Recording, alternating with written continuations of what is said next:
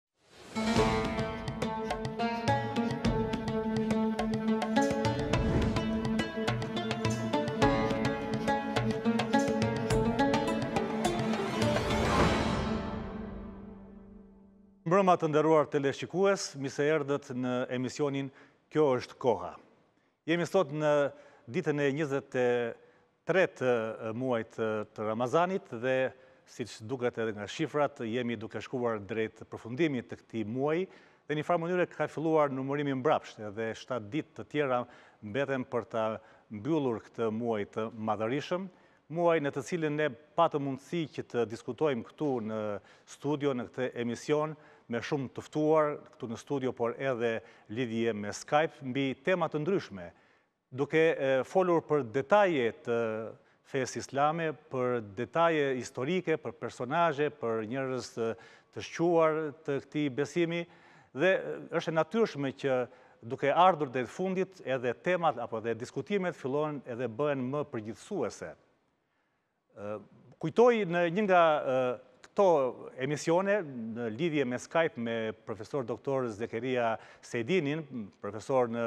Universitetin e Vienës, ai hodhi një tezë, le të themi, apo solli në vëmendjen tonë një fakt mbi besimin islam,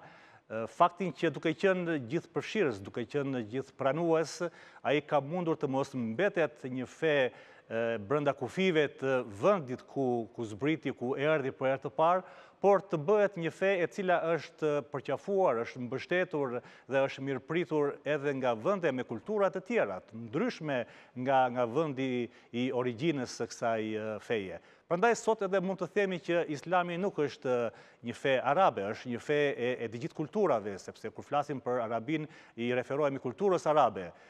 Sot Islamin e gjen në të gjithë globin, nga Amerika, në Australi, në Zelandën e Re, e gjen të bashkëjetojë me kulturat nga më të ndryshme, deri edhe ato më të çuditshme siç janë në Azi, le të themi të shtetet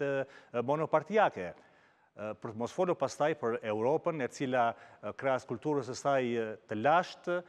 Islami gjendet pranë kësaj kulture në mënyrë dinjitoze, duke qëndruar e duke bashkëjetuar. Pikërisht për këto arsye të kësaj, le të themi, shpërndarje kaq të mrekullueshme që ka realizuar Islami në gjithë globin, unë sot kam vendosur që duke mos ftuar këtu në studio si zakonisht një personazh, të mbaj këtë bisedë të lidhur me Skype me me dy qendra të rëndësishme të kulturës, të historisë, le të themi të ekonomisë në në botë, pikërisht duke u lidhur me Melburnin, ku atje unë kam një mikun tim të njohur, jo prej shumë vitesh, por në aq kohë sa kemi kemi patur marrëdhënie dhe komunikim shumë interesant, doktor Bekim Hasani, të cilin e përshëndes. Doktor, Përshëndetje dhe është kënaqësi për mua që tashmë pas një kohe kaq të gjatë që nuk kemi komunikuar të lidhemi nëpërmjet Skype-it me me në këtë emision. Faleminderit edhe juve Armand. Më lejoni t'ju përshëndes juve dhe të gjithë dëgjuesit e programit tuaj dhe njëherit t'ju uroj të gjithë juve muajin e shenjtë të Ramazanit nga Melburni i largët. Siç e dini, këtu është ora dy në mëngjes, kështu që bën një gabim. E vlerësoj edhe këtë fakt që ju keni ndenjur për të bërë këtë lidhje, ndërkohë që në krahun tjetër unë kam një tjetër mik të ri, tashmë të themi me shumë investime edhe në këtë emision, duke na bërë të mundur njohjen me miq të tjerë, Imamin Usam Alimi, i cili është edhe nënkryetar nënkryetar i komunitetit shqiptar pranë Bashkësisë Islame të Austrisë. Përshëndetje Imam i nderuar. Përshëndetje dhe juve, paqja, mëshira, begatitë e Allahut qofshin mbi ju dhe mbi gjithë shqiptarët që na ndëgjojnë dhe na shikojnë. Amin. Faleminderit. Ne do të do të kalojmë në këtë bisedë të parë në pjesën e parë me me doktor Bekimin në Australi dhe pastaj në pjesën e dytë ndoshta do të do të kthehemi në në Austri për të vazhduar, le të themi si vazhdim logjik të, të kësaj bisede. Nuk e di, doktor, unë di që ju sa i apasionuar, le themi, apo sa i thelluar jeni në dije tuaja si teolog, keni edhe njohuri, nuk e di, është hobi juaj, historia, apo diçka ju ka lidhur me kërkesat apo me hulumtimet tuaja historike. Nuk ka reshtur në asnjë prononcim tuaj që ju mos keni fakte të historisë. Dhe them që ndoshta jeni një nga njerëzit më të duhur për t'i bërë pyetjen se si ka mbërritur Islami në Australi. Faleminderit Armand, para se të emigroj në Australi, pasioni im ka qenë historia edhe e popullit shqiptar, kështu që me ardhjen time në Australi kemi filluar edhe në hulumtimin e historikut të arritjes së Islamit në këtë shtet të largët, e posaçërisht në arritjen e shqiptarëve muslimanë në këtë vend. Siç e dini, shumica e njerëzve, posaçërisht shqiptarëve në këtë rast, ndoshta nuk dinë edhe aq shumë për Islamin në këtë vend të largët, në këtë kontinent siç është Australia, mirëpo edhe për shqiptarët të cilët kanë emigruar posaçërisht nga jugu i Shqipërisë, qysh në në vitet e para të të një mijë e nëntëqindës, siç e dini edhe shqiptari i parë që ka ardhur në Australi është mbi njëqind vjet, ka ardhur në vitin një mijë e tetëqind e tetëdhjetë e pesë, kështu që edhe ne si shqiptarë jem pjesë e historikut të ardhjes së Islamit në këtë vend. Ardhja e Islamit në Australi, shumë njerëz mendojnë që ka ardhur edhe me ardhjen e evropianëve në këtë vend, mirëpo Islami ka ardhur në këtë vend edhe para shekullit shtatëmbëdhjetë, nëpërmjet vendeve siç është Indonezia, një një ishull atje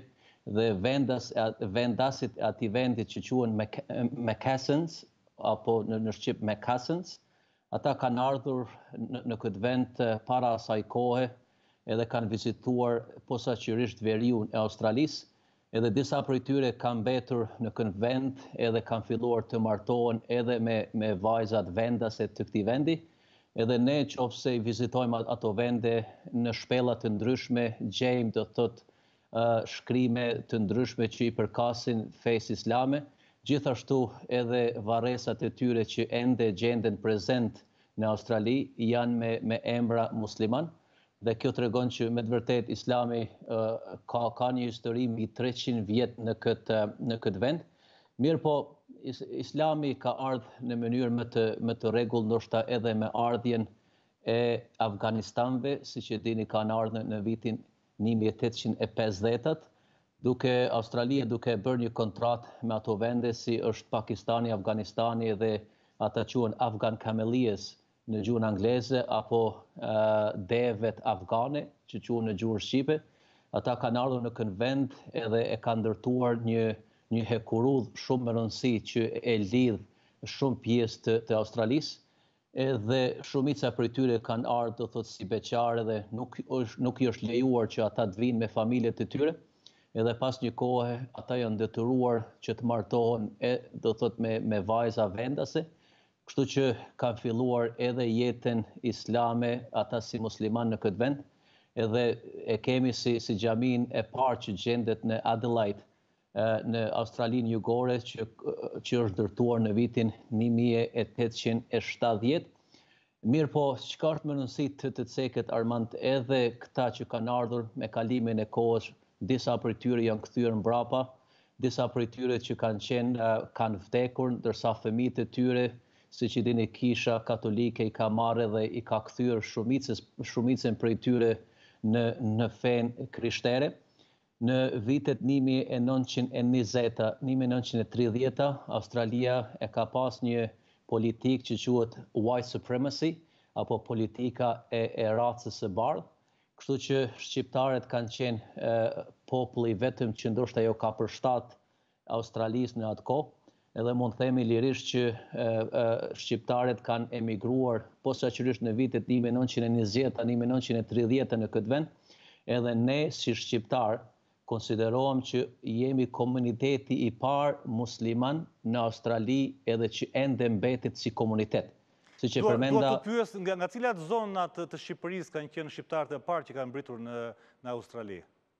Shqiptarët e parë që kanë arritur në këtë vend janë posaçërisht nga Shqipëria, nga jugu i Shqipërisë edhe nga nga Çamëria. Po. Po është interesante për të thënë sepse le të themi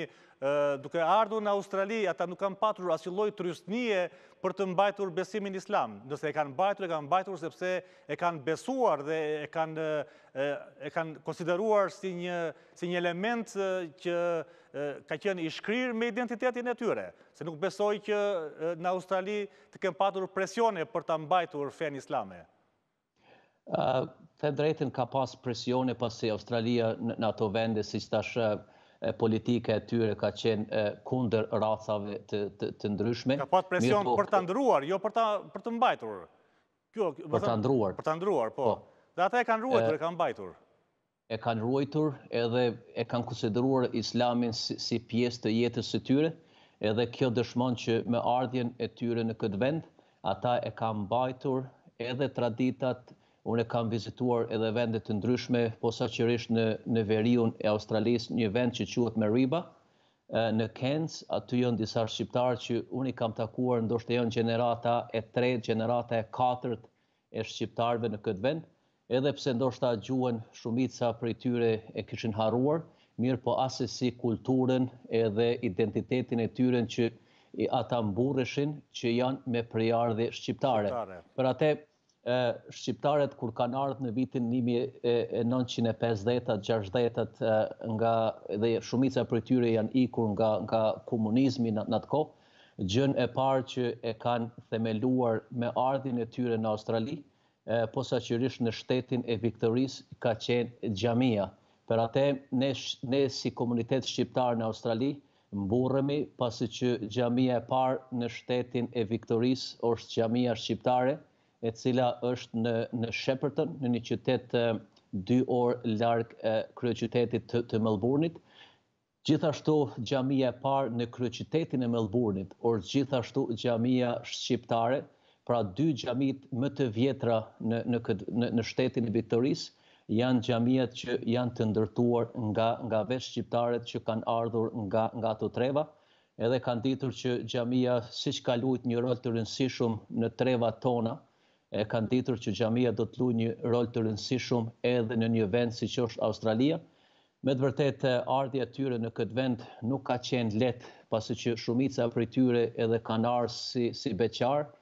edhe qëllimi i tyre ka qenë që të vijnë për një kohë të caktuar, për atë edhe ata janë quajtur si gërbetqarë, se gërbet domethanë kur njeriu shkon në një vend për për një kohë të caktuar, kështu që kanë ardhur në këtë vend me qëllim që të grumbullojnë disa pasuri ose disa të para edhe të kthehen në vendlindjen e tyre, mirëpo me mbylljen e kufijve të Shqipërisë disa prej tyre kanë mbetur këtu edhe disa prej tyre i kanë mbetur edhe familjet e tyre në në Shqipëri. Ne kemi një, një rast të, të, të veçantë që, që vlen të, të theksohet, edhe ai ka qenë një prej themeluesve të xhamisë shqiptare në Karlton, që është xhamia e parë në Melburn, ai kur ka ardhur në Australi para mbylljes së kufijve të Shqipërisë, e ka lënë gruan edhe djalin e tij pesë vjeçar, mirëpo pas mbylljes së së së kufijve ai ka mbetur këtu familja i ka mbetur mbrapa dhe ai ka vendosur që mos të martohet të pret për familjen e tij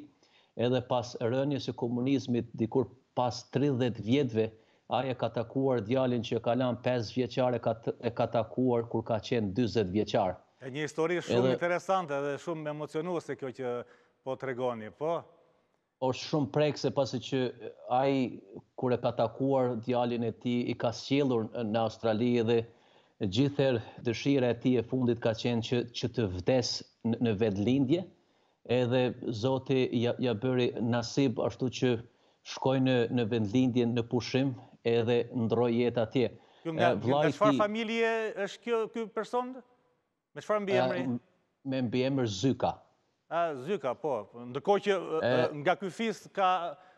prezent shumë në në në Melbourne edhe janë goxha aktiv edhe në në menaxhimin e xhamisë në Karlton aty ku ku ju ju that, janë deg e, e, e këtij personi apo është fis tjetër? Po këta janë dy vëllezër kanë qenë ky Mehmeti edhe Qerim Zyka, Qerim, Qerim po. Zykën kam kam kam patur uh, fatin që ta takoj edhe sa kam qenë imam i kësaj xhamie deri tash para dy muajve ka qenë një njeri që edhe kjo është vllajt, kjo histori e vllaut të tij është edhe po, edhe po. ndoshta më interesante pasi që Kam takuar, kam kaluar një, një kohë të gjatë me të, edhe dëshira e tij ishte sa ishte gjallë, kur kam ardhur në këtë vend ai ka qenë mbi shtatëdhjetë vjet, edhe tha imam dëshira ime e fundit është që unë ta, ta rindërtoj xhaminë në fshatin tim kur, ku e ka rrënuar komunizmi, edhe nuk gjinden edhe as themelet, pasi edhe ky ka shku me, me djalin e tij mbrapa në atë vend, i ka gjetur themelet e xhamisë edhe pse është ballafaquar me sfida të ndryshme me komunën e atij vendi, mirëpo i arriti që vetë me familjen e tij ta rindërtoj xhaminë në atë vend edhe pas pas një kohe të ndërtimit të xhamisë ai edhe ndrroi jetë edhe vdiq edhe unë isha ai i cili e kam do thotë e kam pastruar edhe ka qenë nder për mua që e kam njoft një njeri si ai Po edhe ka shumë e shumë historia të tjera që që me të vërtet tregojnë se sa shqiptarët musliman kanë sakrifikuar me ardhjen e tyre në këtë vend kanë ardhur do thotë me me me me rroba të veta nuk kanë pas asgjë me vetvete mirëpo që sot janë një komunitet goxha i i vlerësuar dhe i respektuar aty në Melbourne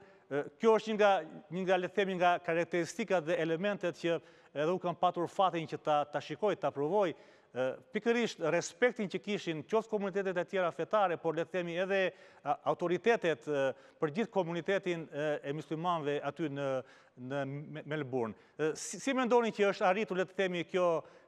kjo ngritje e figurës së muslimanit shqiptar në këtë shtet, në këtë kontinent, Australia është kontinent,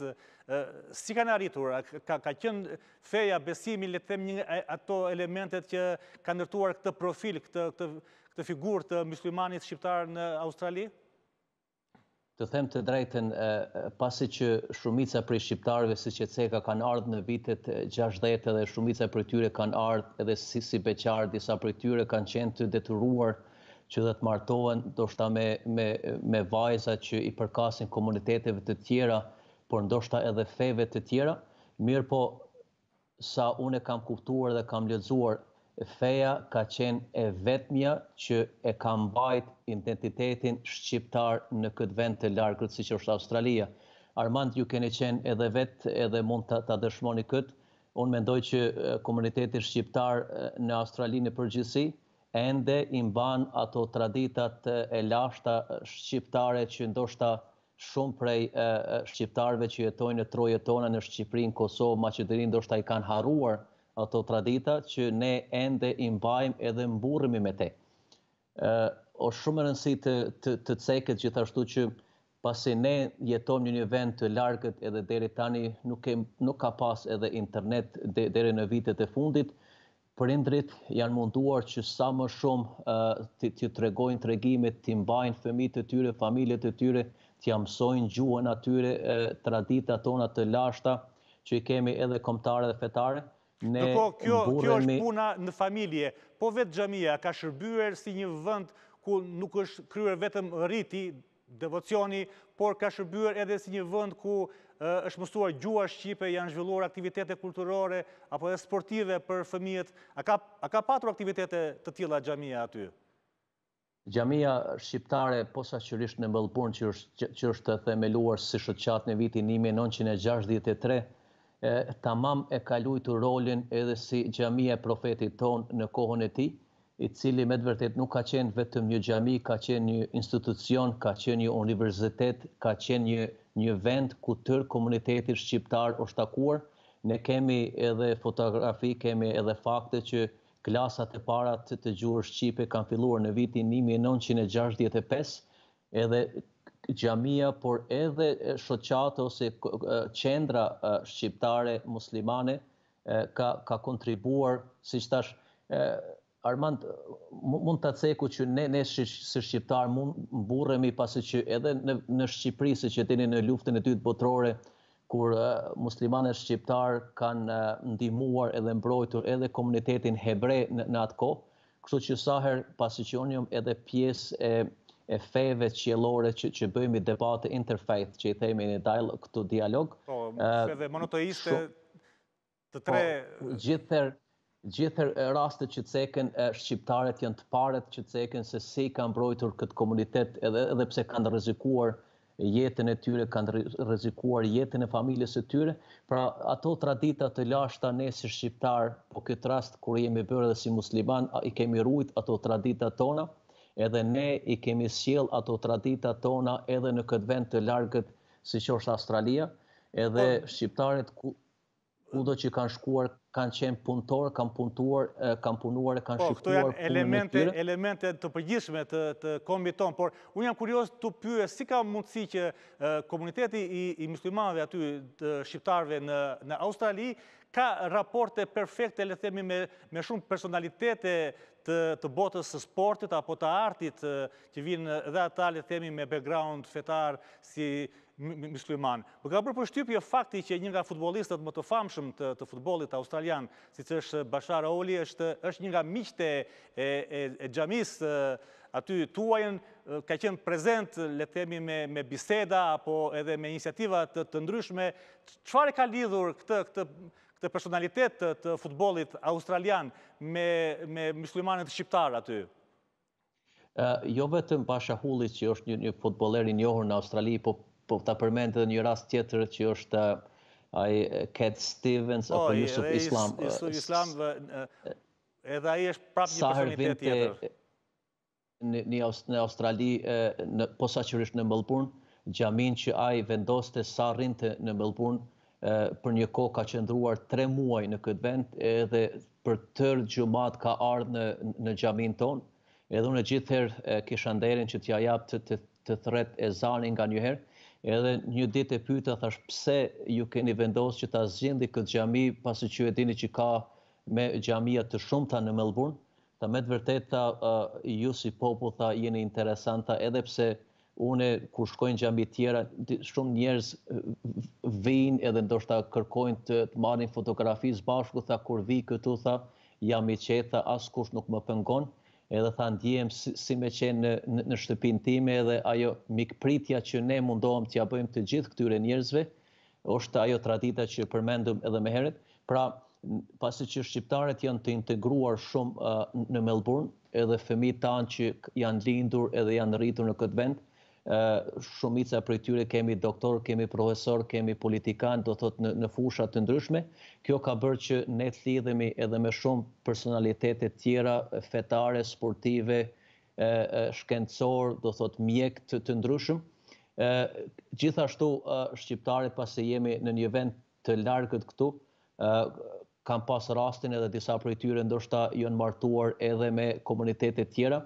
Ne kemi një prej rasteve që ndoshta vlen të, të, të theksohet, ne jemi bërë, do thotë, miqasi edhe me me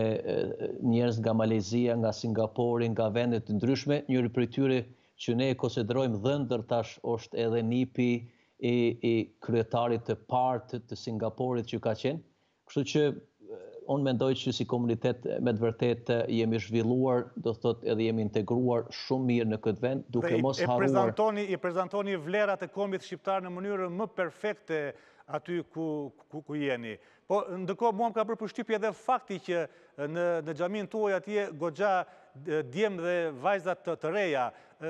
ndoshta nëpër shtete të tjera është një moshë më e thyer ajo që ndjek, le të themi, ritet, kurse aty është një brez i ri i cili e ka përqafuar dhe vazhdon traditën. Si e shpjegoni edhe këtë këtë element që kaq shumë djem dhe vajza të reja vazhdojnë traditën e prindërve të tyre në Australi? Unë posaçërisht misioni im kur kam ardhur në këtë vend ka qenë rinia, ata posaçërisht ata të cilët kanë lindur edhe janë rritur në në këtë vend edhe kam kaluar shumë kohë me rininë shqiptare në këtë vend. Unë siç e dini jam munduar t'i bëj ata të rehatshëm edhe pse ndoshta nuk kanë qenë në gjendje ta kuptojnë gjuhën shqipe sa duhet pasi që me të vërtetë është një largësi e madhe, mirëpo ne jemi munduar që t'i afrojmë sa më afër duke ndërtuar edhe një një qendër rinore se unë e kam ditur që është vështirë që rininë në këtë vend t'i sjellim direkt në xhami, mirëpo ne duhet ta gjejmë një mënyrë tjetër që nëpërmjet saj t'i sjellim në xhami, kemi ndërtuar atë qendër rinore dhe ne kemi mbajt edhe ligjërata aty, kemi lujtur edhe sporte të ndryshme, kështu që nuk e kemi bërë askënd që të që të që të mendon që osht obligohet të falet, mirëpo njeriu ka qenë i lirë që të vendosë a don të falet apo vetëm ka ardhur të të pijë një kafe ose diçka të tillë, mirëpo me mundin tonë edhe me mundin e e këshillit edhe të gjithë komunitetit musliman shqiptar këtu jemi munduar që t'i afrojmë rininë tanë, siç e dini klasat e gjuhës shqipe ne gjithëherë i kemi i kemi vazhduar dhe kemi pas edhe edhe suportin apo mbështetjen edhe të Ambasadës së Kosovës në këtë vend, me sjelljen e abetareve edhe librave të tjera të gjuhës shqipe, që ato klasa edhe sot... Që u hap edhe ambasada e Shqipërisë, them që do të ndiheni akoma më të suportuar, më të mbështetur, le të themi, edhe nga Republika e Shqipërisë, edhe pse ka pak muaj që është hapur, Unë jam i sigurt që edhe Ambasada e Shqipërisë ka për të ofruar ndihmën e saj. Unë e di, doktor, që ju keni keni bërë doktoraturën, keni bërë doktoraturën në një temë shumë interesante, siç është e drejta e e myslimanëve dhe është një një temë e cila unë do kisha dëshiruar që ta ta ta ceknim në këtë muaj Ramazani, por ja kështu erdhën punët dhe nuk mundëm dot. Edhe kjo kohë që na ka mbetur tashmë është e pamundur për të për të përfituar nga gjithë ajo punë që ju keni bërë në këtë drejtim, por në këtë pjesë të Fundit që na ka mbetur për të biseduar, unë dua të pyes si qëndron situata në Australi me mësimin e besimeve fetare. A ka lëndë në në sistemin shkollor të Australisë ku fëmijëve u mësohet besimi fetar apo është ajo çka bën ju që në ditë të caktuara i hapni dyert e xhamisë dhe fëmijë të moshave të ndryshme vinë edhe shofin konkretisht se si se si ushtrohet besimi në një institucion fetar? Unë e kam zgjedhur Australinë që të vij të jetoj pikërisht ka qenë kjo pasi që Australia i, respek, i respekton të drejtat e njeriut dhe të drejtat e, dhe liritë fetare. Kështu që posaçërisht në Melbourne po edhe të gjitha kryeqytetet tjera e, ne kemi shumë edhe shkolla islame apo fetare në këtë vend që janë shkolla private Edhe edhe shkollat të cilat janë publike, feja është pjesë e saj edhe është si lëndë do të thotë zgjedhëse, edhe ata të cilët kanë dëshirë mund zgjedhin edhe fenë si si lëndë zgjedhëse ose elective që i themi ne këtu. Xhamitë janë vetëm për ata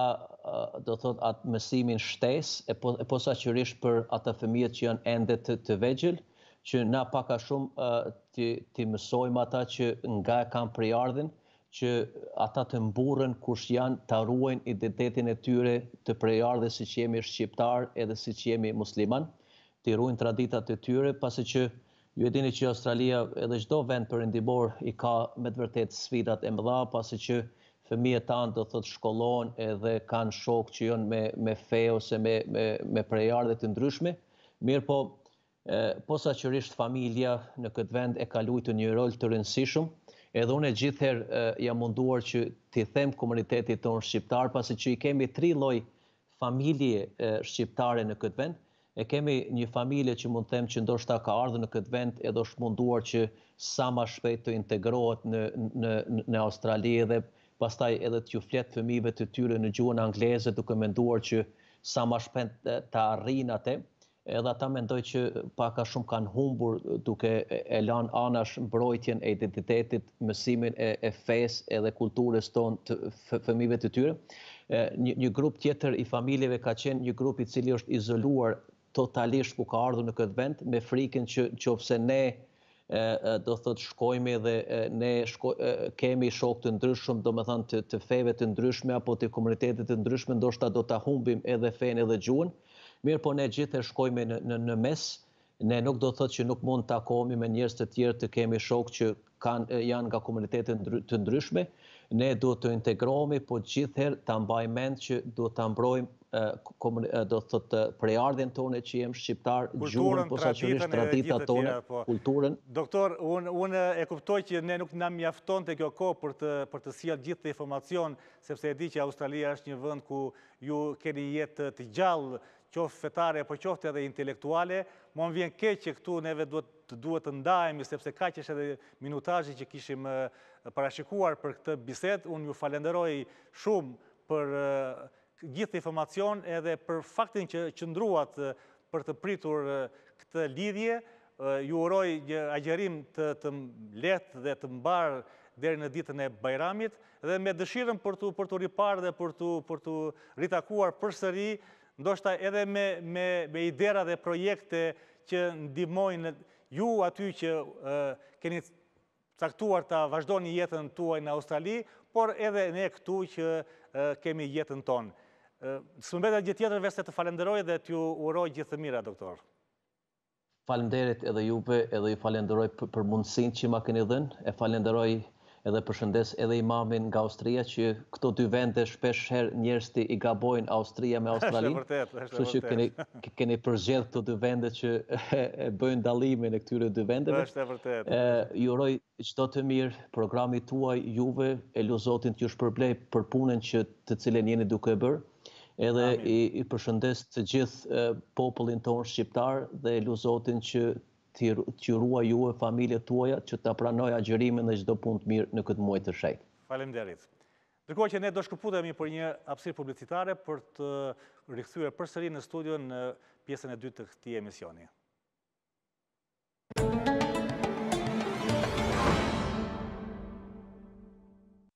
Jemi rikthyer në këtë pjesë të dytë të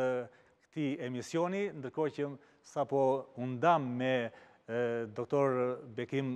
Hasanin nga Australia dhe do të kalojmë tashmë në lidhjen tjetër me mikun tonë në Austri, i cili po na pret dhe Ju përshëndes edhe një herë, Usam. Është kënaqësi që do të zhvillojmë këtë bisedë të dy bashkë. Përshëndetje dhe juve, me kënaqësi.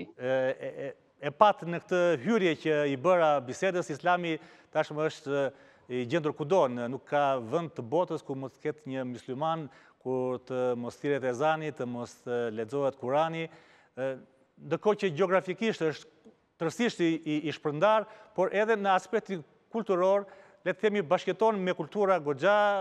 të të rëndësishme, siç është rasti juaj aty në Austri, ku Austria njihet tashmë, nuk ka nevojë të flitet për kulturë të lashtë, të konsoliduar, le themi edhe konservatore në një farë mënyre, por ja që islami i ka gjetur, le themi, edhe falë kulturës së vëndit, pa dyshim, për të gjetur rrugët e bashkëpunimit dhe të harmonisë. E ndiheni dhe ju kaq komode dhe kaq le të themi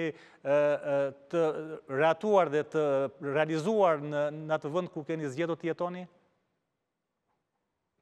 Fillimisht faleminderit për ftesën edhe ju uroj për emisionin, është një emision me përmasa ndryshe që jemi mësu të shikojmë nëpër televizionet tona.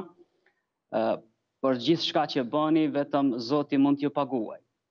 Po i kthehem asaj që ju e përmendët pak ma herët. Ashtu si e thatë edhe ju që Islami i ka bë ball çdo sfide, çdo pengese, edhe çdo kufiri gjeografik, po edhe çdo kufiri kulturor të lidhet mes njerëzve, për me u treguar dhe i treguar njerëzimit që Islami është një alternativë, Islami është një mundësi. Islami është një zgjidhje tjetër për ata të cilët nuk e kanë njohur. Ndërsa për ata që e njohin, Islami ë veç jeta. Islami ë çdo send që ka mbrenda jetës njerëzore dhe çdo pore çdo çdo vrimë të të jetës njerëzore e ka prekur Islami. Nuk ka lënë asnjë send përveçse e ka ndërtuar. Ajo që ka qenë e prisht e ka rindërtuar dhe e ka bë edhe më të bukur. Ashtu si na porositi Muhamed Mustafaja, i dashuri i zemrave tona. Ai tha që muslimani mirësinë e gjen edhe kudo që e gjen e tija është, pra e përvetëson mirësinë të cilën e gjen. Edhe ne këtu në Austri, si çdo njeri që ka ka migruar dhe ka dalë prej vendlindjes vet, padyshim me vete ka marrur. Ka marrur atë të qenurit musliman, po edhe të qenurit kombtar, të qenurit shqiptar. Edhe atë e kemi mishiruar shumë mirë me kulturën austriake në këtë vend ku jetojmë. Duke mos na penguar në asnjë aspekt të asaj që duhet të jenë prej rriteve fetare. Duke na mundësuar që edhe ne t'i kemi xhamitë tona, duke na mundësuar që edhe ne të jemi pjesë e kësaj shoqërie, pa mos patur as edhe një diskriminim më të vogël. Kjo ndodhi edhe dje kur u bë rihapja e xhamive. Kam pasur mysafirë këtu në xhaminë time, gazetarë të mediave të ndryshme po edhe televizionin shtetëror të Austrisë, i cili ka ndjekur për afër se si do të hapet xhamia ose si do të rihapet xhamia. Mbas këtyre masave të rrepta të pandemisë, ne i kemi pasur ata mysafirë për me qenë ata prezent të shohin se si muslimanët në këtë vend edhe gjithsesi shqiptarët në këtë xhami janë të gatshëm t'i përmbahen rregullave shtetërore, rekomandimeve të enteve të ndryshme, edhe duke e falur namazin pikërisht nëpër, nëpër shtëpia të Zotit. Pra, në këtë formë mund të them që neve këtu në Austri e kemi gjetur vetveten sikur e përmendi edhe vllau im pak më herët nga Australia. ashtu mirë dhe rahat sa që e ndjejmë si vendi jonë i dytë. Pra, një vendlindje e dytë e jona, ku mund të shprehim mendimet tona dhe mund të bëjmë atë të cilën Zoti neve na ka urdhëruar, po edhe në këtë vend në të cilën ne sot po jetojmë. Mua më vjen mirë që, që sillni këtë informacion edhe janë vërtet thënie të, të sinqerta, të cilat nuk, nuk lënë vend për dyshime, apo le të themi për interpretimin e shumë dashakeqve që kanë dashur të tregojnë që islami asnjëherë nuk nuk është një fe e cila mirëkupton apo le të themi krijon raporte pozitive me kulturat e tjera. Ndërkohë që unë dua që t'i rikthehem diçka e duket sikur është një devijim nga nga tema, por le të themi e ka brenda islamin edhe kjo gjë që do të doja që t'ju pyesja. Në një bisedë përpara 2-3 asa diçka edhe më shumë mbrëmjesh me me kryetarin e e komunitetit shqiptar aty unë ia ceka pak le të themi atë iniciativë që ju si mysliman aty në Austri bëtë një gjest të vlerësuar për gjithë shqiptarët, në një moment të vështirë për kombin shqiptar, kur pas tërmetit të fuqishëm, iu gjendën shumë kombe dhe vende të ndryshme, qoftë me ndihma monetare apo edhe me vënie në dispozicion të teknologjisë, edhe ju si komunitet aty u gjendët pranë dhe keni ardhur këtu vetë edhe ju vetë në Shqipëri për të ofruar një ndihmë monetare ndaj popullit shqiptar. Si lindi kjo ide për të për të qenë pranë, le themi, hallit apo le të problemit të kombit shqiptar? Ishte një ide brenda komunitetit tuaj si musliman apo ishte më gjerë, ishte një ide e gjithë shqiptarëve që që jetojnë në në Austri? Ishte ide e gjithë shqiptarëve që natyrshëm do të vijë deri te kjo që t'i përkrahim vëllezërit tanë në ato që ata u goditën në njëzet e gjashtë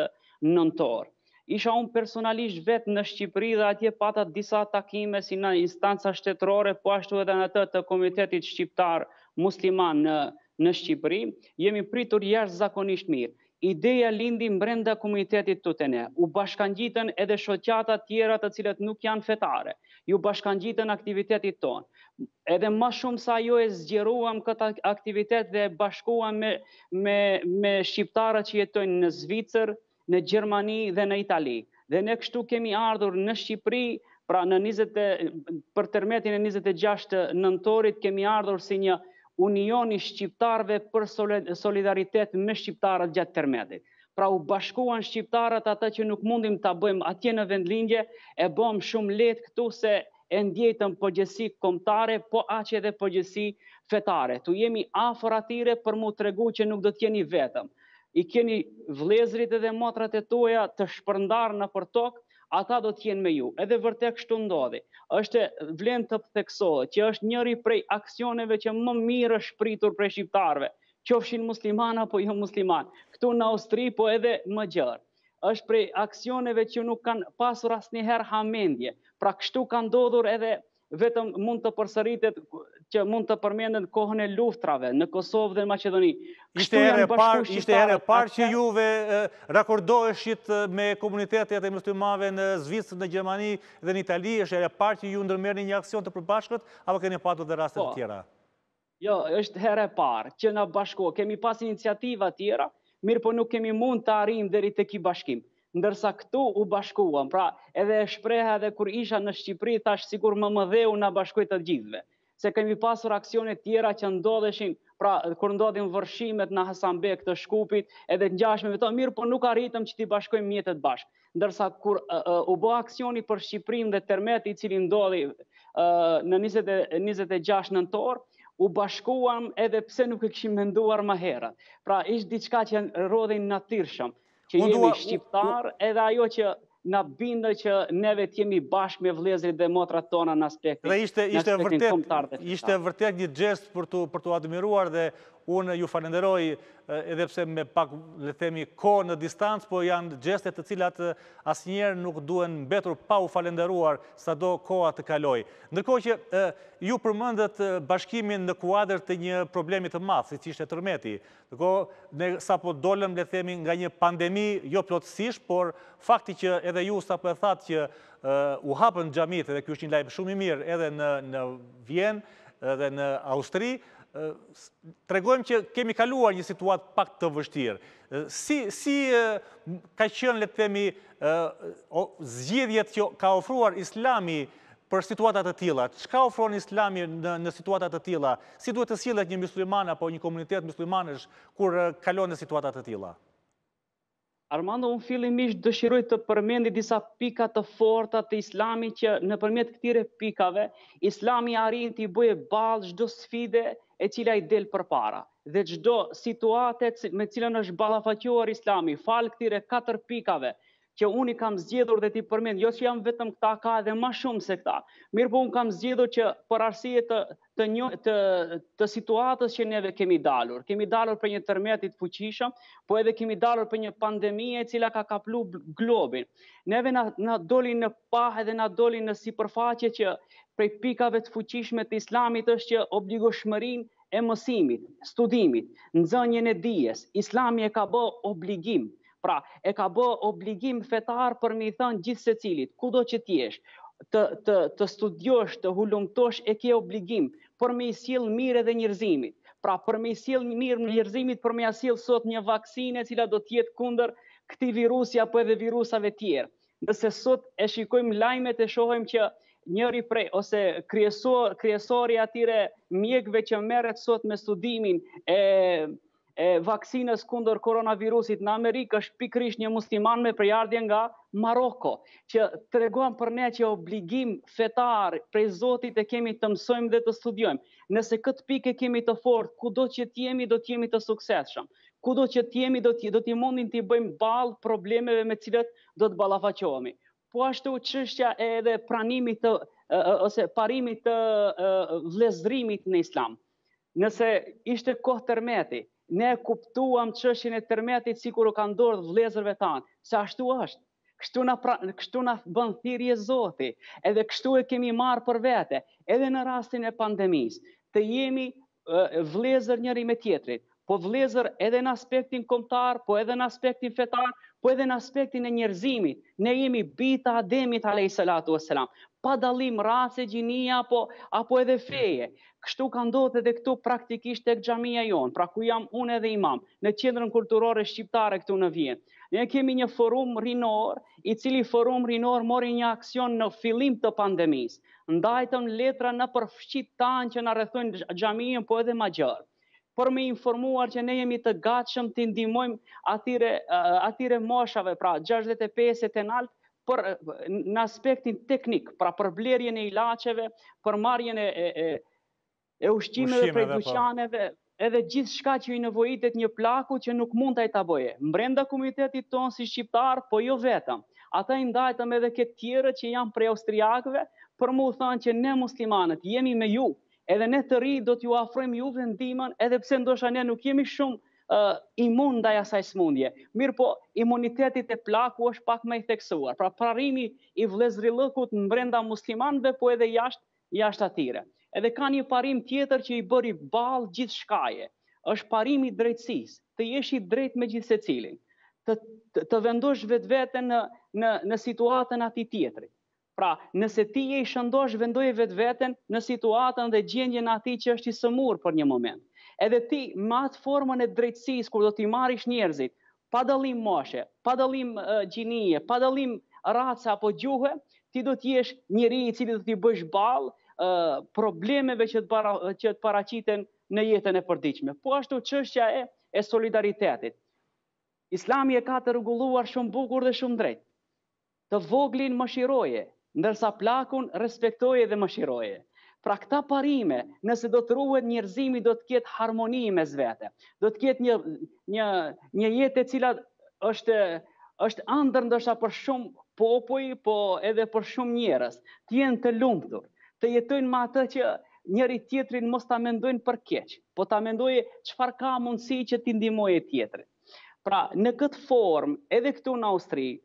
Po, jo vetëm në Austri, unë jam i bindur që muslimanët, edhe ashtu si, jam, si jemi të informuar, duke filluar prej qendrave islame që janë në Itali, kanë bërë një punë jashtëzakonisht të mirë me shpërndarjen e ndihmave, po edhe qendrat tjera të cilat janë në Britaninë e Madhe, kemi disa vlezër atje, po edhe në Gjermani, po edhe në Spanjë,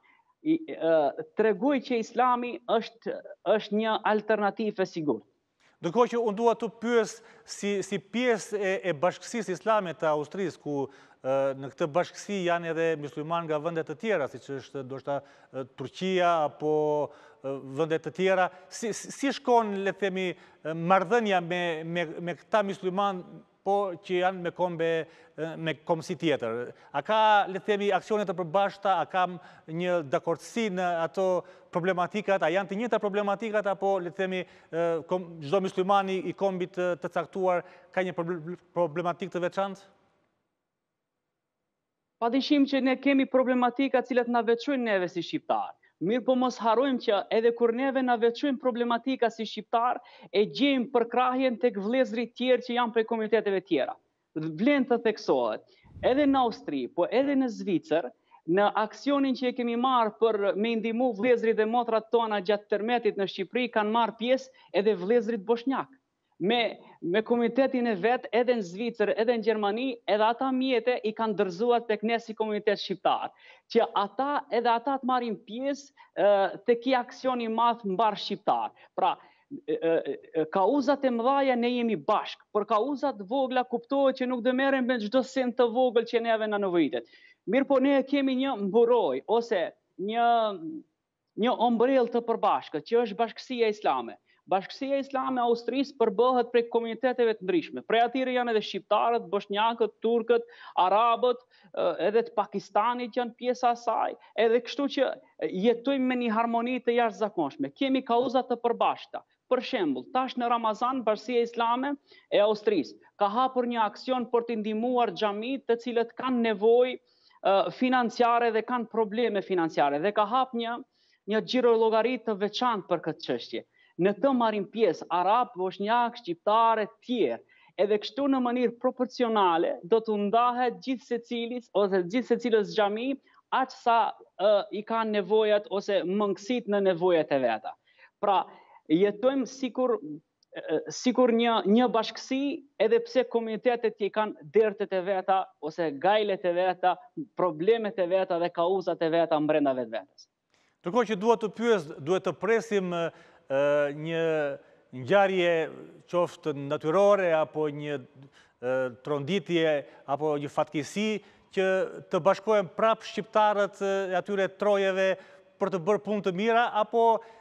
mendoni që edhe në kohë të mirë, në kohë pozitive, në kohë paqeje, në kohë kur nuk ka problematika, ju të gjeni rrugët e komunikimit për të mos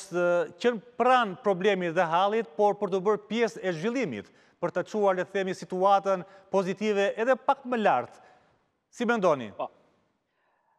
Pikërisht ashtu është Armand. Ne në çështjet e mëdha kuptohet që duhet një angazhim edhe më i madh. Mirpo neve jemi bashkë edhe në organizimin e seminareve mes mes e kam fjalën mes unioneve shqiptare në Austri, Gjermani, Zvicër e Itali. Pra ne kemi organizojmë seminare vjetore me cilat ne takohemi. Po ashtu kemi takime të ndërsjellta të të Kryesisë. Kryesia e Unionit thënë kushtimisht e Austrisë viziton Unionin e Zvicrës edhe kështu me radhë. Pra,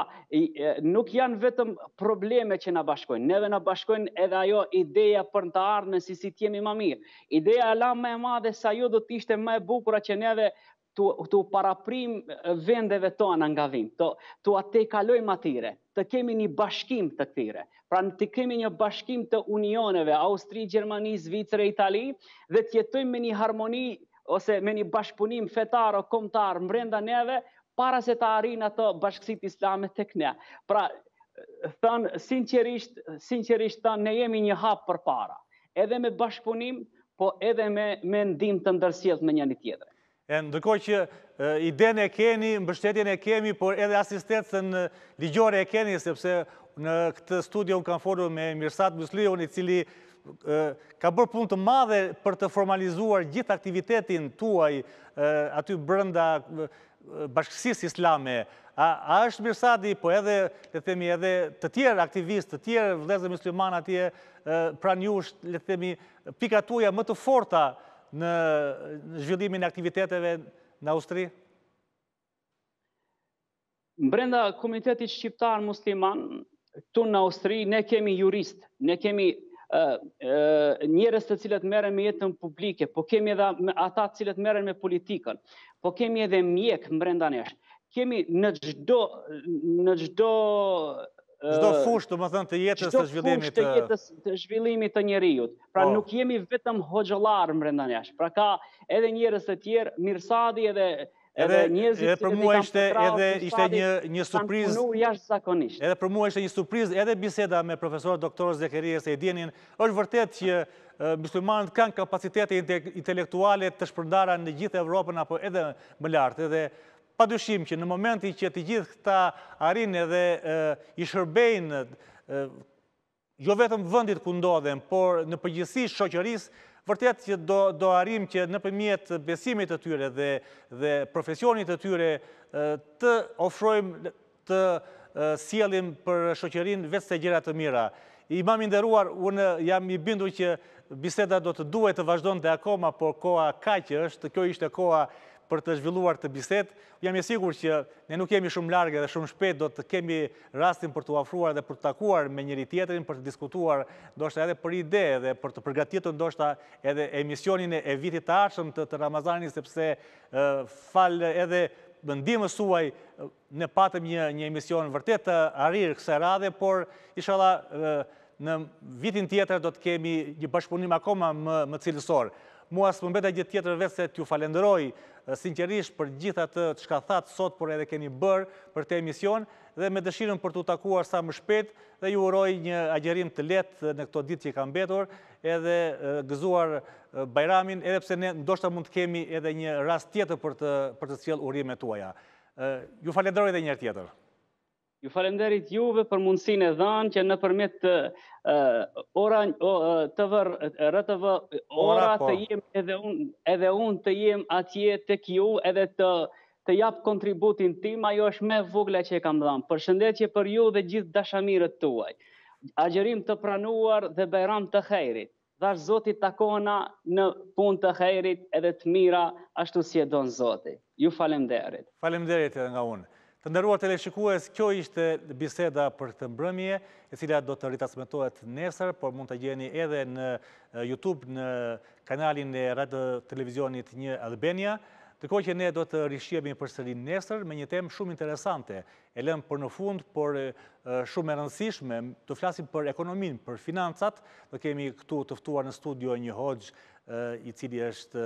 ka specializuar për çështjet e financave, por ndërkohë nëpërmjet Skype-it do të jemi të lidhur dhe me disa biznesmenë, me disa nga ata që e prekin çështjen e ekonomisë, Në këtë situatë e kanë prekur problematikat e mëpërpashme, por janë edhe të ndjeshëm ndaj asaj se çfarë mund të ofrojë kriza në të ardhmen dhe të fillojmë le të themi një një debat e një diskutim i cili mund të ofrojë zgjidhje për problemet ekonomike, jo vetëm të Shqipërisë, por edhe edhe më gjerë. Atëherë unë ju lë takim për nesër në orën 18 si zakonisht, deri atëherë ju uroj një natë të qetë dhe të sigurt. Natën e mirë dhe mirë u takofshim.